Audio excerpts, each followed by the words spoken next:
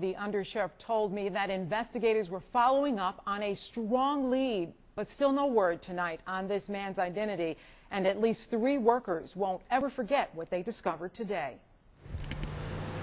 We do paper, plastic, cardboard, metals, all the metals, ferrous, non-ferrous.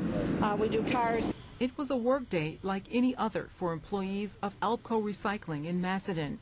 But something happened mid-morning to change the day for three workers sifting through a cardboard load that had just been dumped. The workers from Alpco, uh, while they were sifting through the recyclables, uh, discovered a deceased white uh, male, middle-aged, and then contacted uh, the sheriff's office. Workers were shaken. It was very traumatizing to the employees. Um, so they're emotionally having a, a tough time with this. We're told the body was fully clothed, but police found no ID. They think the body may have been in a dumpster. It was on a truck that collects recyclables from dumpsters at companies in Rochester and eastern Monroe County.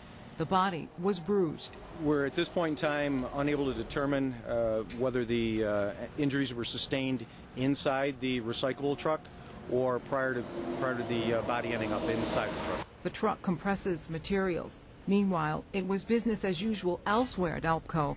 However, Plum said her main concern was focused on the workers. We've been in business here for 50 years at Alpco, and we've never had this happen before, ever.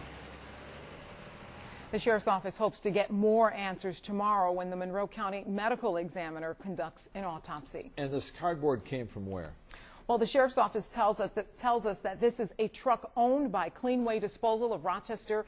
It provides trash collection for businesses. This particular truck picked up commercial grade cardboard in the area of Winton Road and heading into the eastern suburbs of Monroe County.